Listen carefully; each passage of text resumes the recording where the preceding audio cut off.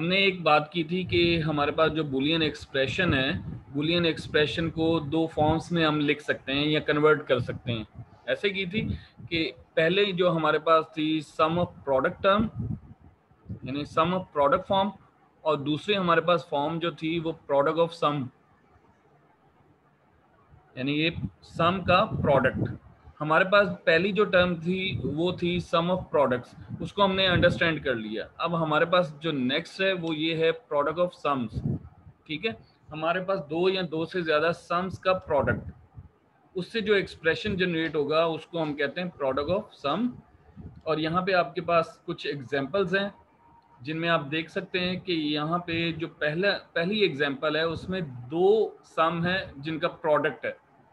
Product of two sums product of two sum terms कौन कौन से sums A complement plus B और दूसरा आपके पास ये ब्रैकेट में जो लिखा हुआ है A plus B complement plus C तो इस तरह से आपके पास product of two sum terms इसी तरह यहाँ पे product of three sum terms और यहाँ पे इस एग्ज़ाम्पल में देखें। इस एग्ज़ाम्पल में हम्म। हमारे पास product of three terms three sum terms ठीक है?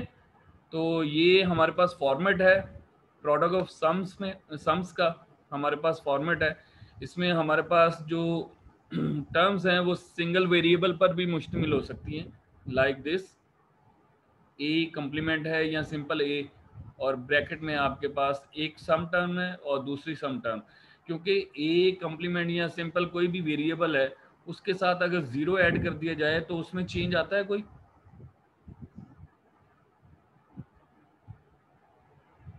अगर किसी टर्म में ज़ीरो ऐड नो सर तो कोई चेंज आता है उसमें? नो सर नो सर इस तरह से हम अगर लिखना चाहें ए प्लस ज़ीरो तो आंसर किसमें होता है? ए के इक्वल होता है ना?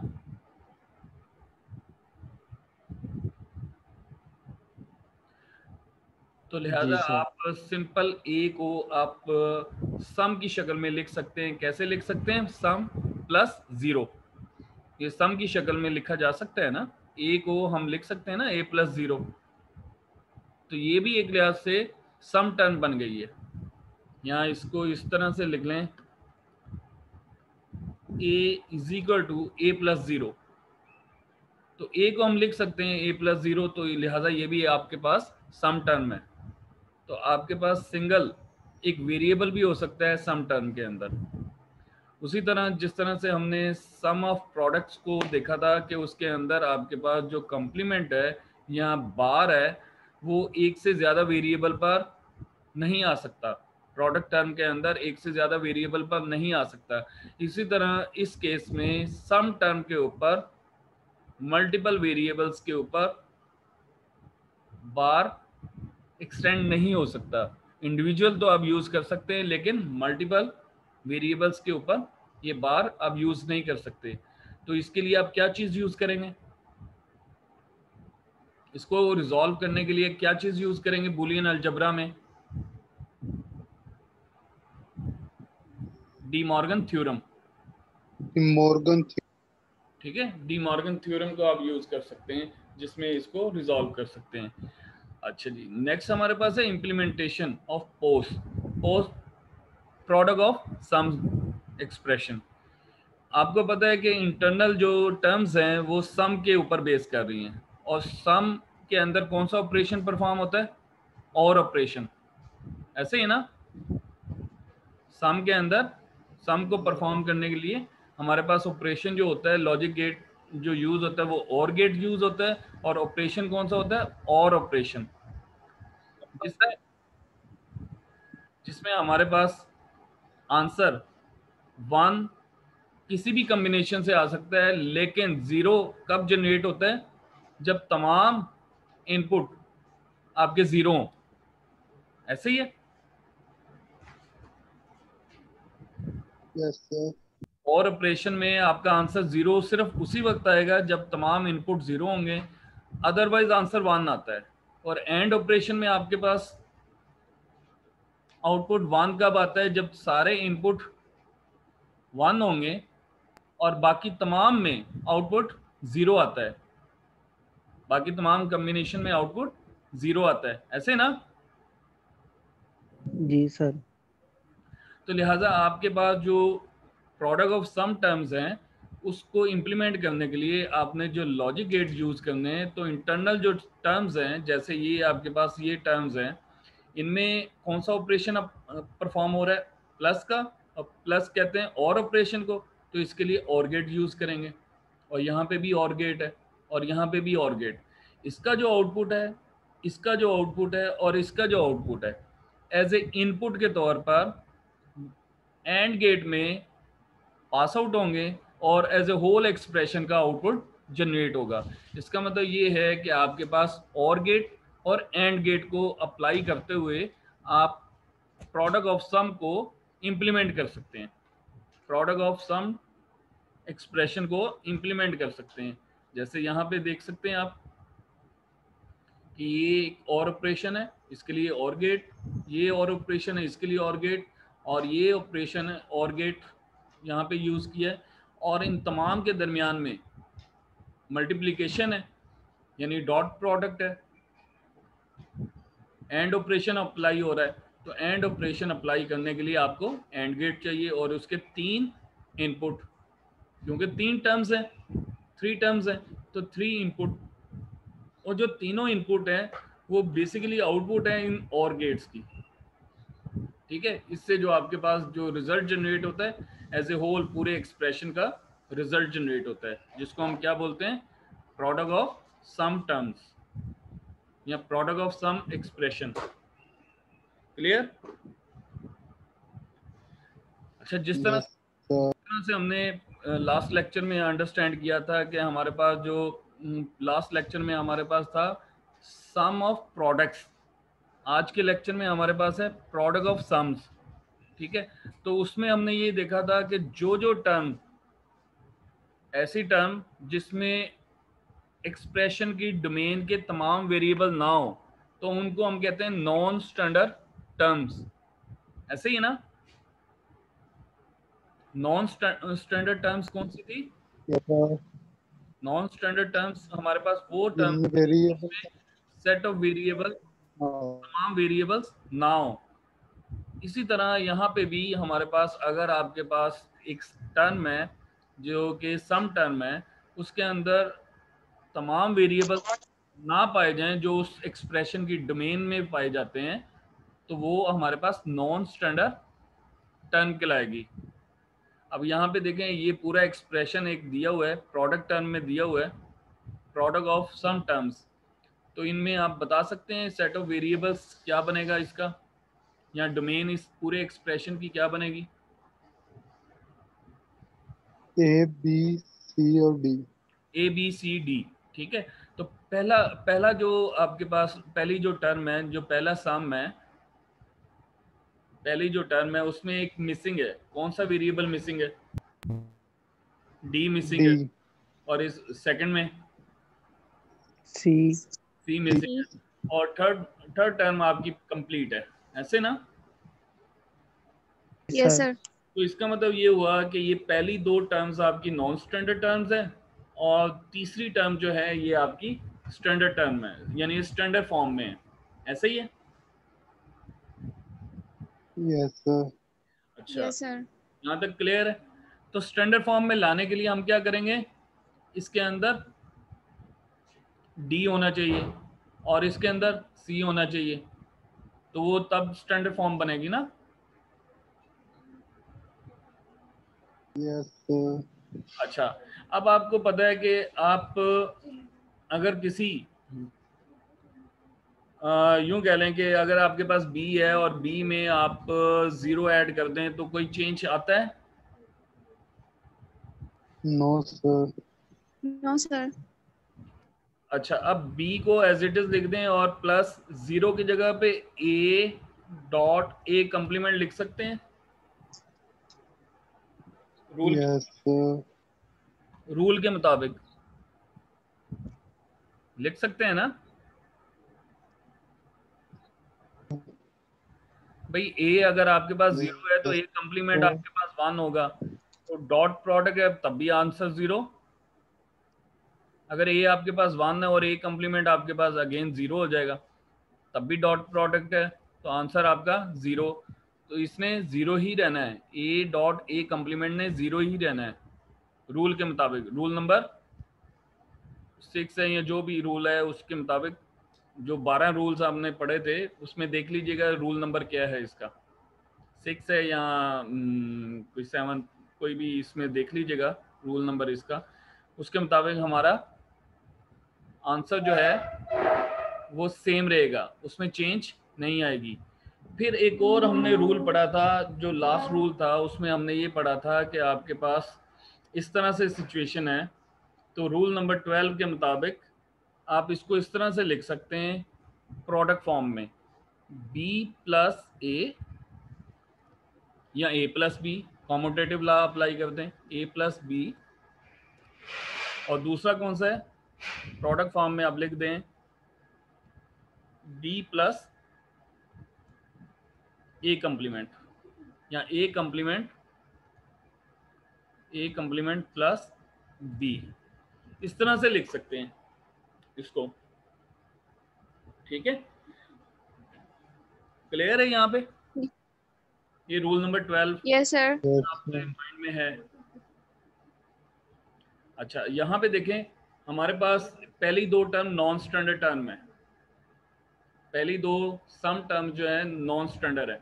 तो इसमें आप क्या करेंगे? इसमें ज़ीरो ऐड कर दें। इस पहली टर्म के अंदर प्लस ज़ीरो कर दें। Yes, कर सकते हैं ना? और इसमें भी ज़ीरो. ऐड कर सकते हैं ना? Yes, तो यहाँ पे देखें जब आप ज़ीरो ऐड करेंगे यानी आप जब ज़ीरो ऐड करेंगे तो ज़ीरो को आप लिख सकते हैं मिसिंग टर्म के साथ। जैसे यहाँ पे मिसिंग क्या है? Yes. है ना? तो आप उसको ज़ीरो को चेंज कर सकते हैं। D dot D complement yes, और यहाँ पे इस पे लिख सकते हैं ज़ीरो की जगह पे C dot C complement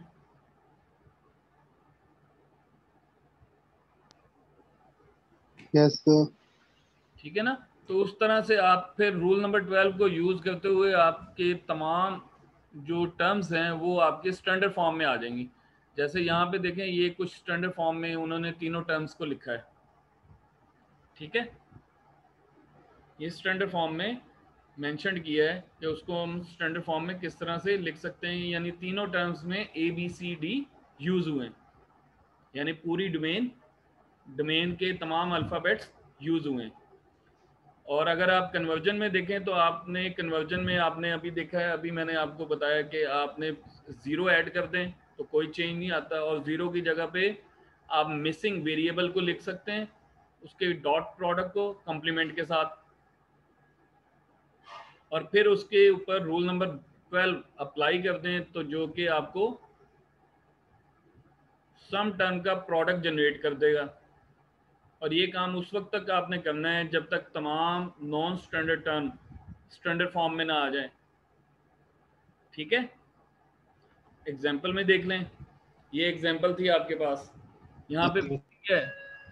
पहली टर्म में मिसिंग क्या है?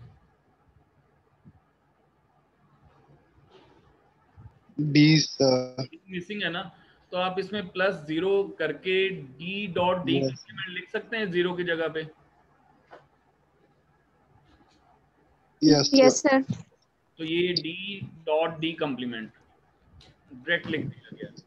अच्छा अब रूल रूल नंबर ट्वेल्व क्या कहता है कि अगर आपके पास ये शेप हो ए प्लस बी सी हो ए प्लस बी सी हो तो आप इसको लिख सकते हैं ए प्लस बी और दूसरा ए प्लस सी ठीक है? इस तरह से लिख सकते हैं।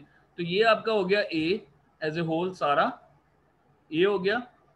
और ये आपका हो गया बी और ये आपका हो गया सी।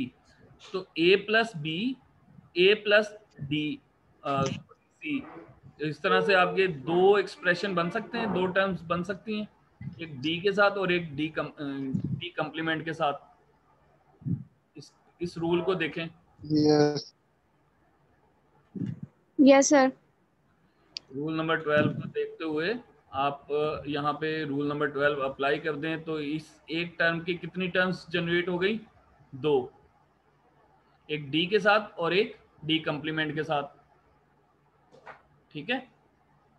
और इस केस में कौन सा मिस है? ए कंप्लीमेंट ए ए मिस है ना? A. तो यहाँ पे ए डॉट ए कंप्लीमेंट लिख दिया। Yes, sir. ये अब आपका बन गया है ए इसको आप ए कंसिडर करें इस पूरी तीनों टर्म्स को इसको ए कंसिडर करें और ये आपका बी सी है। पहले बी के साथ फिर सी के साथ। पहले ए के साथ हो जाएगा फिर ए कंप्लीमेंट के साथ। एक्सप्रेशन रूल नंबर ट्वेल्व ठीक हो गया? Yes Yes, sir. ये भी आपकी स्टैंडर्ड फॉर्म में चेंज हो गई ये भी आपकी स्टैंडर्ड फॉर्म में चेंज हो गई ये ऑलरेडी स्टैंडर्ड फॉर्म में थी। तो आपके पास दो एक्सप्रेशन दो टर्म्स ये दो टर्म्स ये एक टर्म ये पाँच टर्म में कन्वर्ट हो गया जो कि स्टैंडर्ड फॉर्म कहलाएगा इसका। ठीक है? ये स्टैंडर्ड फॉर्म जो रिलेटेड आपके सामने एक और रिलेटेड प्रॉब्लम है इसको भी आप कर सकते हैं। इसमें क्या कम कमी है? इसमें किस चीज़ की कमी है पहली टर्म में? C. डी सी की कमी है ना? ए बी सी तीन वेरिएबल है ना यहाँ पे? Yes, इधर सी की कमी है और Yes, इधर? इधर ए की कमी है। A. की- तो इसको सी के साथ कर दें। सी डॉट सी कम्प्लीमेंट इसको आप ए डॉट ए कम्प्लीमेंट के साथ कर लें। क्लियर यस सर अच्छा नेक्स्ट है हमारे पास binary representation of standard sum term हमारे पास कोई भी सम टर्म है उसकी बाइनरी रिप्रेजेंटेशन सम टर्म की आपने निकालनी है। तो आपको पता है कि सम में आंसर ज़ीरो सिर्फ़ एक ही कम्बिनेशन पर आता है और बाकी तमाम कम्बिनेशन में आंसर वन आता है। ज़ीरो कब आता है सम टर्म में? जब जब तमाम ज़ीरो होंगे। जब तमाम इनपुट ज़ीरो होंगे। ऐसे ना? क्योंकि लास्ट टाइम हमने प्रोडक्ट टर्म पढ़ी थी ना तो प्रोडक्ट टर्म में वन उस वक्त आता है जब आपके पास तमाम इनपुट वन होंगे और बाकी तमाम ज़ीरो होते हैं। जबकि सम टर्म में क्या होता है आपका बाकी तमाम में आंसर वन आता है और ज़ीरो कब आता है? जब तमाम इनपुट ज़ीरो होंगे। ऐसे ना? जब तमाम इनपुट ज़ीरो होंगे। इसका मतलब इस, अगर आप एक्सप्रेशन को देखें, इस एक्सप्रेशन के अंदर सम टर्म के अंदर, इस पूरे सम टर्म का आंसर अगर ज़ीरो आप लेना चाहते हैं तो इसका मतलब तमाम इनपुट ज़ीरो होने चाहिए। तो इसका मतलब ये है कि ए तो ज़ीरो है सिंपल बी आपके पास वन होगा, जो कि कंप्लीमेंट उसको कन्वर्ट कर देगा ज़ीरो में। सी आपके पास ज़ीरो डी आपके पास वन होगा, जो कि कंप्लीमेंट उसको ज़ीरो में कन्वर्ट कर देगा। तो आपके पास answer as a whole zero आएगा। तो लिहाजा आपके पास B A B C D की वैल्यू क्या होगी? A zero B one C zero D one यानी ये कम्बिनेशन आपका यूज़ होगा, जिस पर आंसर आपका ज़ीरो होगा। ठीक है? यानी अगर आप ट्रुथ टेबल आप देखें तो ट्रुथ टेबल में आपके पास क्या होता है? आपके पास तमाम इनपुट वेरिएबल्स होते हैं ना ए बी सी और ये डी ठीक है? अगर आप इनकी वैल्यू देखें तो आंसर आपका इसको, आंसर में हम इसको इस तरह से कर दें एक्स एक्स आंसर है हमारा। लेट से तो ए की वैल्यू ज़ीरो बी की वैल्यू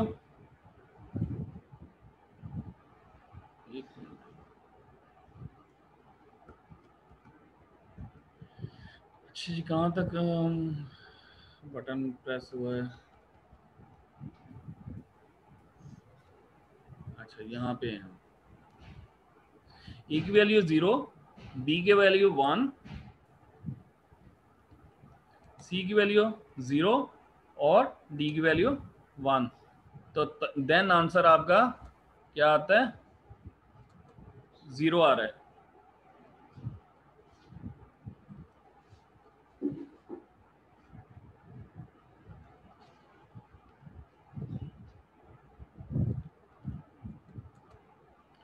समझ आ रही है इसकी? इस कॉम्बिनेशन पर आंसर ज़ीरो है बाकी तमाम पे आंसर वन आएगा। बात फॉलो की है? Yes. हमारे पास जो टर्म है हमारे पास जो टर्म है वो कंप्लीमेंट फॉर्म में है। ठीक है? हमारे पास कंप्लीमेंट फॉर्म में है।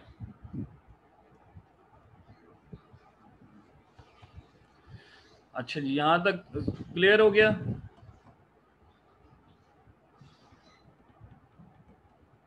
यहाँ पे एग्जांपल देखें।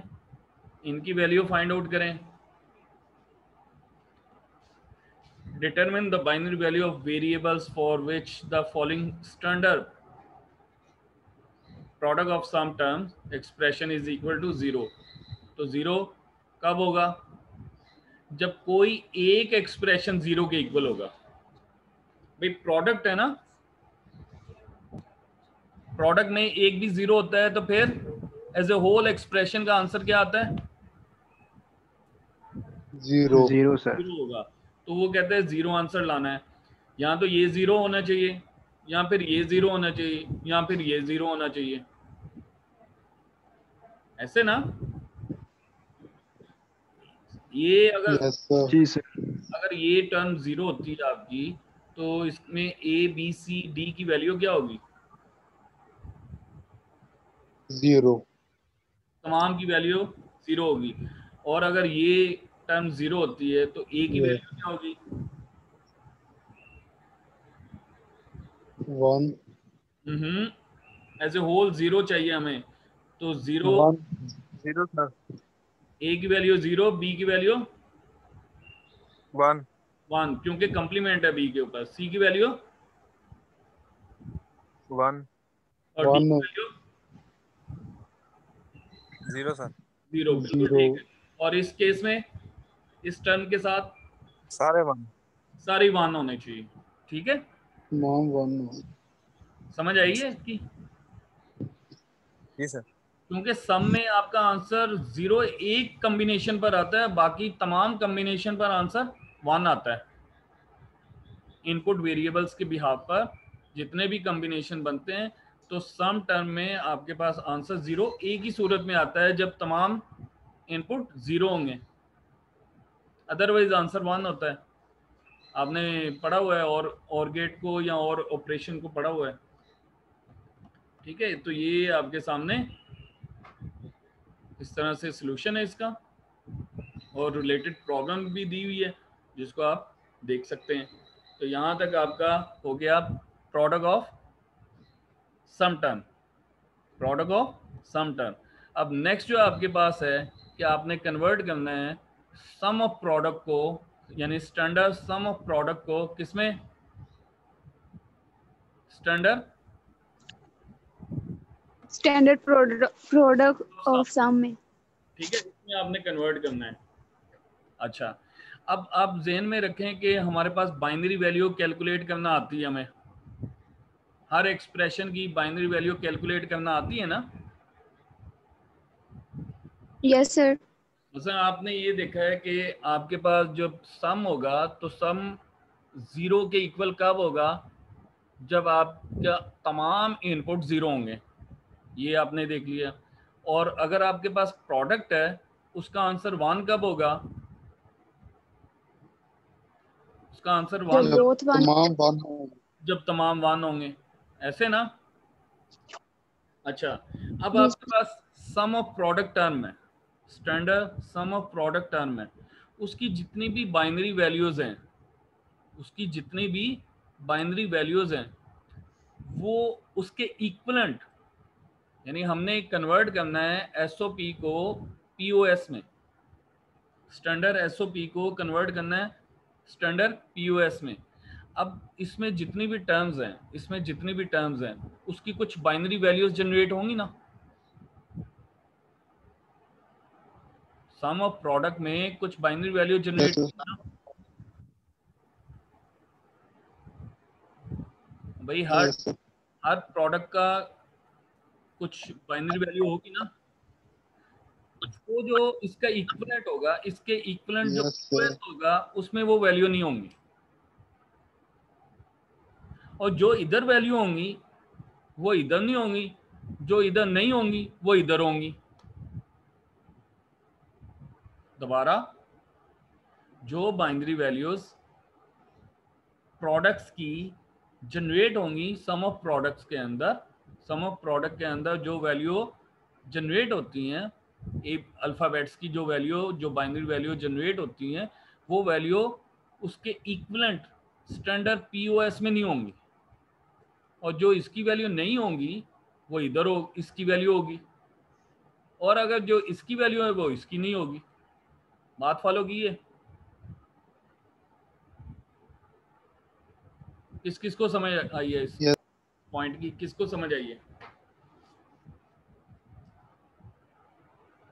मैंने ये बात की है सम ऑफ़ प्रोडक्ट जो हमने कल लेक्चर पढ़ा था जिसमें हमने प्रोडक्ट्स का सम निकाला था। जैसे आपके सामने एक एग्जांपल 4.19 है ये प्रोडक्ट्स का सम है।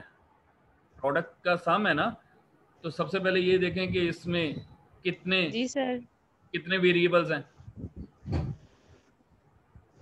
तीन। तीन वेरिएबल है। तीन वेरिएबल के बिहाफ पर इनपुट कॉम्बिनेशन कितने बनेंगे?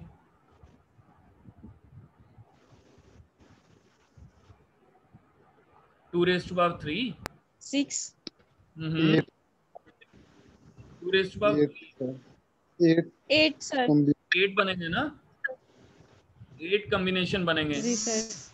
अच्छा। अब एक कॉम्बिनेशन इस इस टर्म का होगा। एक कॉम्बिनेशन इस टर्म का होगा एक कॉम्बिनेशन इस टर्म का होगा और एक कॉम्बिनेशन इस टर्म का होगा और एक कॉम्बिनेशन इस टर्म का होगा। ऐसे ना? Yes जी सर। तो ये कितनी टर्म्स है यहाँ पे? Five. फाइव फाइव कितनी है? यानी आठ कॉम्बिनेशन थे ना? जी सर। तीन इनपुट जी सर। पर आठ कॉम्बिनेशन बनते हैं। आठ में से तीन कॉम्बिनेशन हमारे सामने लिखे हुए हैं। तीन टर्म पाँच टर्म सॉरी पाँच टर्म हमारे सामने लिखे हुए हैं। तो रिमेनिंग हमारे पास थ्री कॉम्बिनेशन बचेंगे ना? जी सर। या नहीं? जी सर थ्री रहेंगे। वो थ्री कौन कौन से होंगे? अब आपको पता है कि ये इसका आंसर वन कब आता है? जब ये तीनों वन होंगे। ए बी सी वन होंगे। ऐसे ना? जी सर। तो इसका आंसर वन कब आएगा? जब बी ज़ीरो होगा और ए और सी वन होगा। बिल्कुल ठीक है और इसका आंसर वन कब आएगा? जब ए ज़ीरो होगा बी सी वन होगा। बिल्कुल ठीक है और इसका आंसर वन कब आएगा? जब ए और सी ज़ीरो होंगे और बी वन होगा। और इसका आंसर जब तीनों ज़ीरो होंगे। जब तीनों ज़ीरो होंगे। इसका मतलब इसका कॉम्बिनेशन बनता है ज़ीरो ज़ीरो ज़ीरो ठीक है? यानी ए बी सी ये कॉम्बिनेशन और इसमें ज़ीरो वन ज़ीरो यही आपने बताया ना? और इधर? जी sir. Zero one one? Zero one one. और इधर? One zero one? One zero one. और यहाँ पे वन वन वन ये कम्बिनेशन आपने बताए हैं। ऐसे ही ना? जी सर। अब ये एसओपी में है। एसओपी में है। ये तमाम कम्बिनेशन ये तमाम वैल्यूज़ किसमें है? एसओपी में। एसओपी इसमें कौन कौन से कॉम्बिनेशन नहीं है? इसमें कौन कौन से कॉम्बिनेशन नहीं है? ये देखें ये ज़ीरो है ये टू है ये थ्री है फाइव है और ये सेवन वैल्यू अगर डेसिमल फॉर्म में देखें तो आपके पास आठ कॉम्बिनेशन है ना? तो आठ कॉम्बिनेशन हमारे पास बनते हैं ज़ीरो से लेकर सेवन तक वैल्यूज़ ज़ीरो से सेवन तक वैल्यूज़ बनती है ना? आठ कॉम्बिनेशन जी सर yes sir. में ज़ीरो है टू है थ्री है फाइव है और और कौन सा है? सेवन मिसिंग कौन से हैं? मिसिंग है आपके पास? Four six. मिसिंग आपके है। है. Missing are one sorry one two है four. थ्री है फोर और फाइव है। कौन कौन से मिसिंग है? One four six one four और सिक्स इसको हम कैसे लिखते हैं? ज़ीरो ज़ीरो वन और इसको कैसे लिखते हैं फोर को? वन ज़ीरो ज़ीरो और सिक्स को कैसे लिखते हैं? ज़ीरो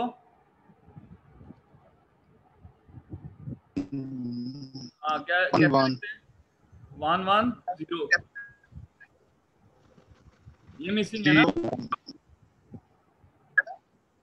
यस सर इसका मतलब Yes, sir. ये, ये वाले जो कॉम्बिनेशन है ये वाले जो बाइनरी वैल्यूज़ हैं वो इसमें होंगी। पीओएस में होंगी। ये वाली जो वैल्यू है ये जो मिसिंग है जो इसमें नहीं है वो इसके इक्वलेंट में होगी। क्योंकि हमने पीओएस में कन्वर्ट करना है ना। तो अभी देखें आपके सामने मैंने तीन आपके सामने लिख दिए तो ये कॉम्बिनेशन आप देख सकते हैं ये आपने अभी मुझे लिखवाए हैं और ये मैंने यहाँ पे लिख भी दिए और आपके सामने यहाँ पे लिखे भी हुए हैं। ठीक है? तो रिमेनिंग कौन से वन फोर सिक्स ऐसे ही है। भाई आपने ये देखना है जो जो पेंडिंग में है ना जो मिसिंग है ना वो दूसरे एक्सप्रेशन में पाए जाएँगे। दूसरे एक्सप्रेशन में पाए जाएँगे। अब यहाँ पे देखें अब ज़ीरो ज़ीरो वन को हम किस तरह से लिख सकते हैं प्रोडक्ट फॉर्म में? प्रोडक्ट फॉर्म में हम क्या वेरीफाई करते हैं? आंसर ज़ीरो कब होता है? जब सारे ही जब ज़ीरो सारे हो। ज़ीरो हो।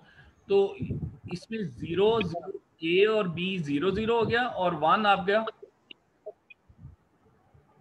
सी कंप्लीमेंट यस सर अब यहाँ पे पहला वन है तो ए कंप्लीमेंट बाकी zero zero B C simple और यहाँ पे दो वन है तो पहले दो टर्म के ऊपर कंप्लीमेंट है. क्योंकि A plus B plus C is equal to zero उस वक्त होगा जब तीनों की वैल्यू ज़ीरो होंगी. तो तीन बच गई हैं आपके पास तीन मिसिंग वैल्यू हैं उसके बिहार पर आप उसको कन्वर्ट कर सकते हैं सम ऑफ़ प्रोडक्ट को कन्वर्ट कर सकते हैं प्रोडक्ट ऑफ़ सम में। यानी ये पूरा एक्सप्रेशन ये पूरा एक्सप्रेशन इस एक्सप्रेशन के इक्वल है। बात फॉलो की है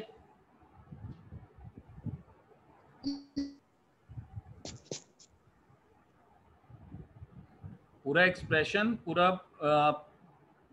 सम ऑफ़ प्रोडक्ट इस प्रोडक्ट ऑफ़ सम के इक्वल है। कैसे निकाला है? मिसिंग वैल्यू से। और उसके बाद कंसेप्ट क्या है? हमारे पास आंसर ज़ीरो कब आएगा?